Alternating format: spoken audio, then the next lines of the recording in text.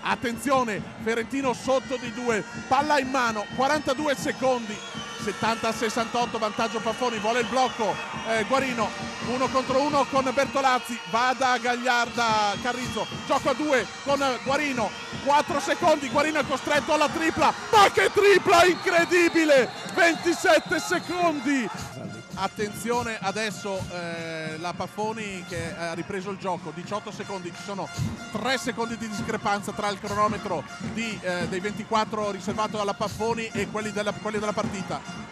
Prova Masciadri la tripla sul ferro rimbalzo tapauta si va da Saccaggi. Il fallo di Guarino direi speso benissimo. Bertolazzi va da Casadei.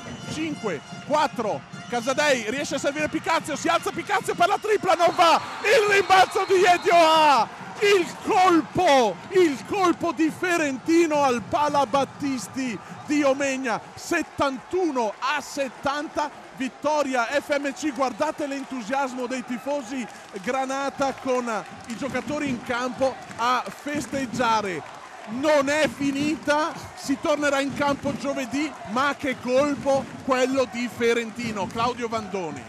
Una partita sempre in bilico, una partita giocata molto bene dagli allenatori. Direi che la presenza di questi allenatori ha significato veramente una partita giocata di qualità. Confermo che questa serie meriterebbe la quinta partita e non la chiusura a tre la pazienza di, di Ferentino nel continuare a difendere credendo nella zona e non lasciandosi condizionare non solo da qualche canestro ma anche da qualche rimbalzo. E poi la grande duttilità, la grande personalità di due giocatori che nel momento che contano hanno fatto la differenza giocando insieme come l'ultima azione ha specificato. Abbiamo visto salutarsi i giocatori in campo che saranno di nuovo di fronte eh, giovedì 10 eh, maggio a eh, Ferentino.